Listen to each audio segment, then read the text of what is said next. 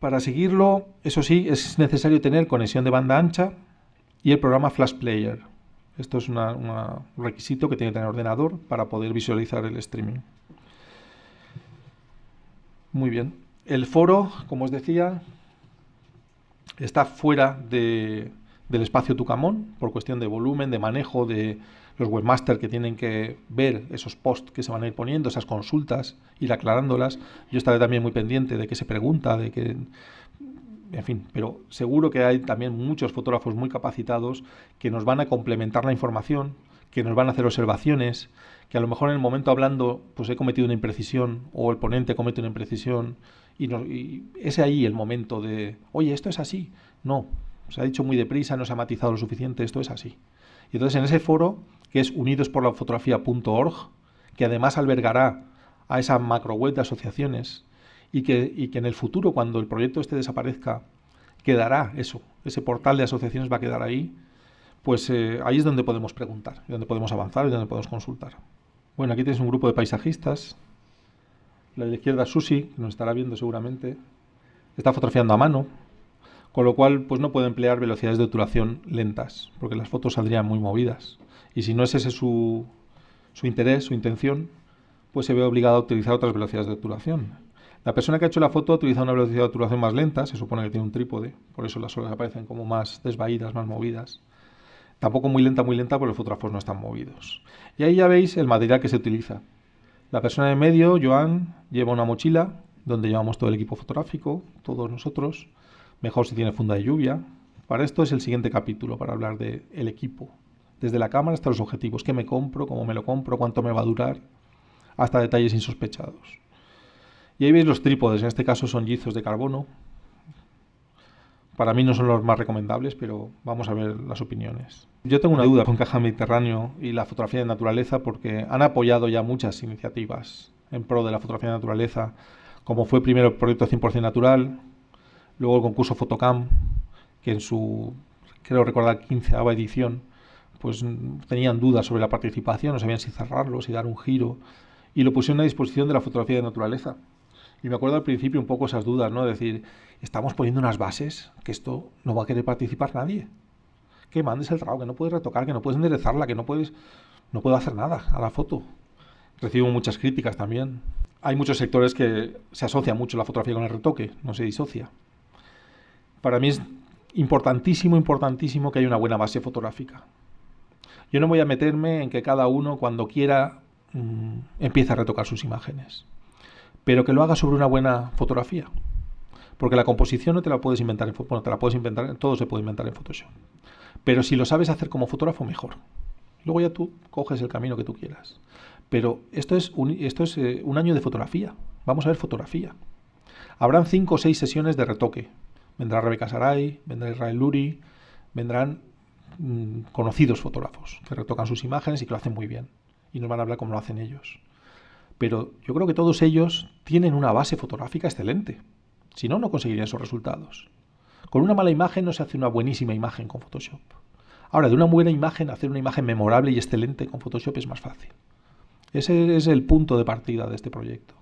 Es decir, vamos a aprender fotografía, como si fuéramos puristas. Después, pues, cada uno coja su camino. Ahí.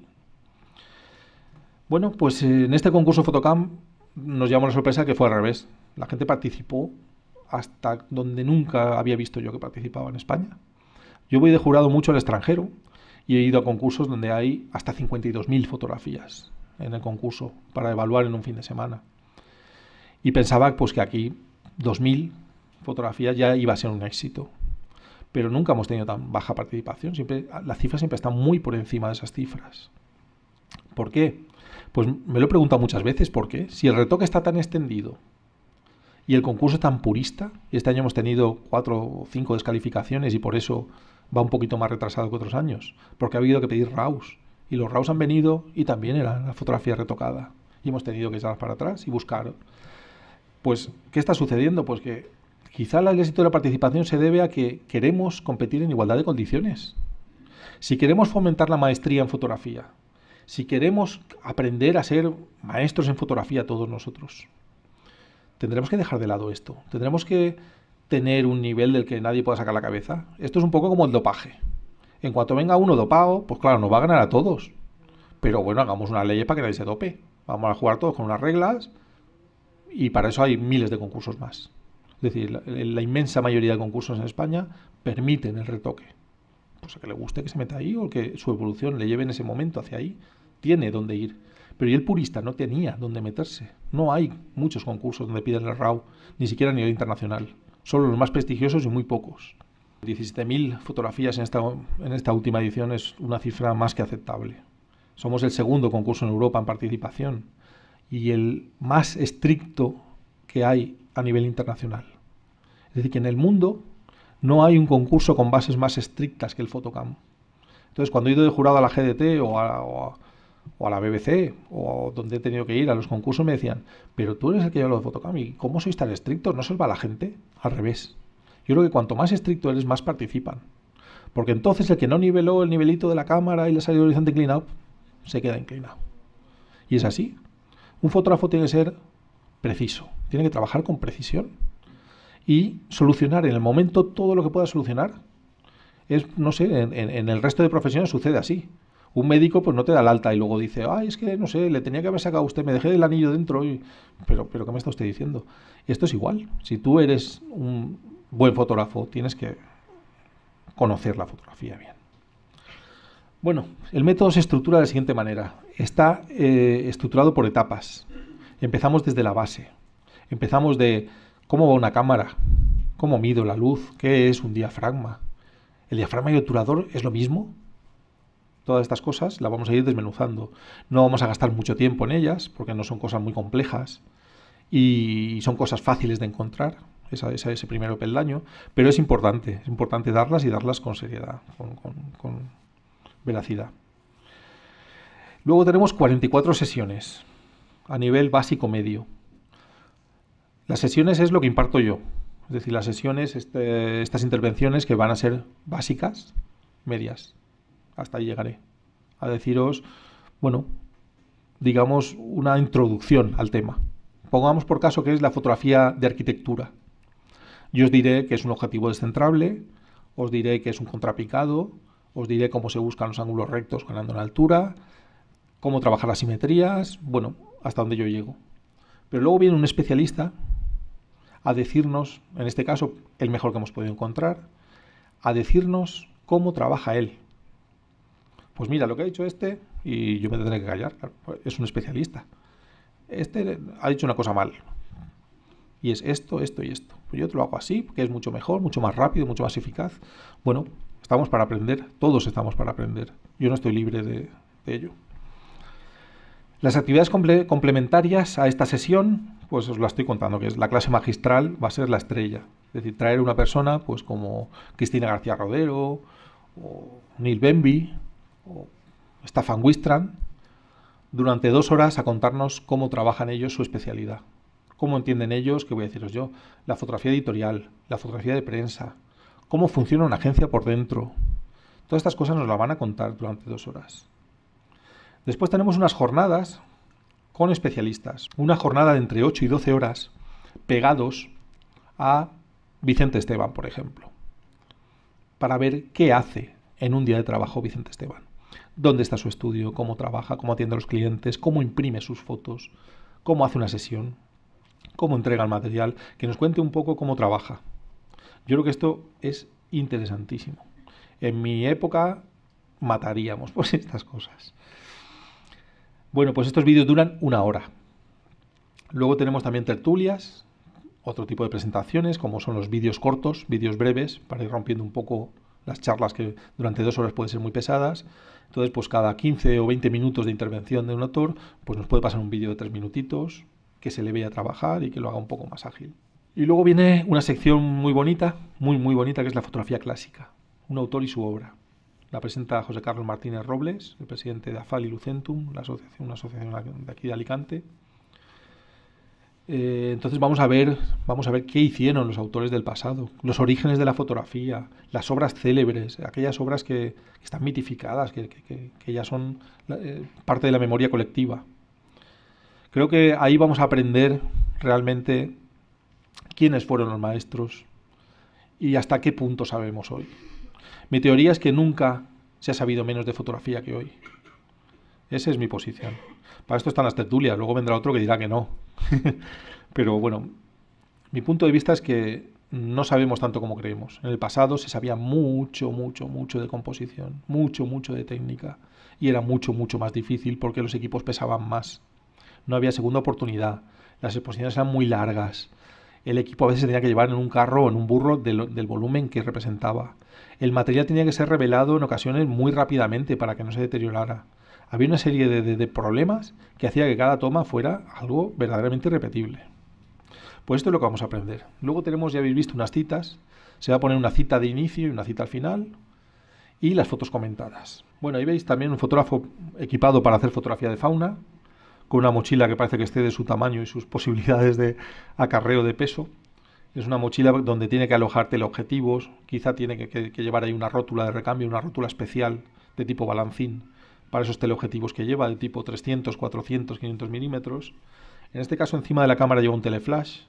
Todo esto lo comento porque después cuando os descarguéis el PDF vais a tener la foto ahí y además la vais a poder ver tranquilamente en casa y utilizar la lupa para verlo más cerca. ¿Qué duran las, secciones de este proyecto? Bueno, tenéis las 44 clases que imparto yo, que duran dos horas. Cada clase básica sobre la cámara, sobre la fotografía arquitectónica, sobre la fotografía de desnudos, sobre la fotografía de bodegones, sobre el trabajo con agencias, sobre el trabajo profesional, dura dos horas. Hay 88 citas, es decir, dos por programa, una de apertura y una de cierre. Tendremos como mínimo 30 vídeos breves de hasta 6 minutos para saber cómo funcionan en Finlandia, la Asociación de Fotógrafos Finlandeses, que es una de las más grandes de Europa, que además se reúnen en, un auditorio increíble que es el Helsinki Hall, es enorme, y una de cuyas socias de honor es la presidenta del gobierno, cosa que creo que no sucede en ningún otro sitio de Europa ni, ni del mundo que un presidente del gobierno sea socio de una asociación de fotógrafos de naturaleza en este caso.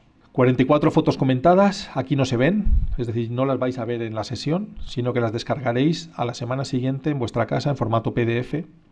Os voy a enseñar aquí, eso sí, qué aspecto tiene para que veáis un poco cómo es. Nueve tertulias de 45 minutos cada una. Vienen cuatro o cinco personas, normalmente son presidentes de asociaciones o, o dentro de las asociaciones que hay eh, próximas eh, personas que entienden del tema, que tienen una posición sobre ese tema. Y empezaremos con la eh, fotografía o, retoque, es decir, la, la, verdad que puede haber detrás de una foto, la mentira que puede haber detrás de una foto, va a ser la primera tertulia. Y no os adelanto todavía los invitados, pero a través de la web iréis viendo quiénes son. Hay un equipo que prepara las tertulias, iremos cambiando de tertulianos, vendrá gente pues seguramente del Fotoclub de Ibiza, vendrá alguien de, pues, de la FIT de Blanes, queremos que venga también Paco. Bueno, iremos cambiando los ponentes a ver un poco qué, se suscita.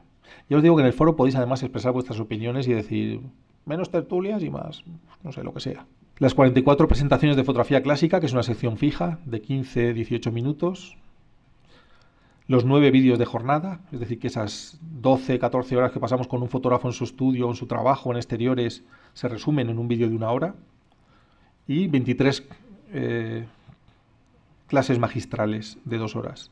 No, no, confundáis la sesión, la sesión la doy yo, la imparto yo, con la clase magistral que viene un especialista a ampliar los conocimientos que yo doy.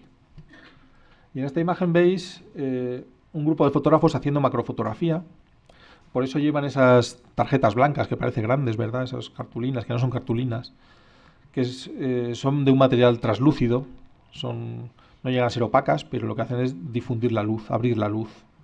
Se utilizan a modo de difusores, son difusores, para conseguir dar en macrofotografía una luz más suave. La luz suave se consigue incrementando la superficie de la fuente de luz.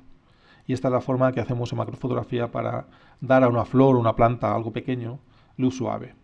Ya veis que eh, han invertido la columna del trípode para estar a ras de suelo. Y tienen una cartulina sujeta con una pinza que es un fondo. Están utilizando un fondo artificial que es iluminado aparte del sujeto.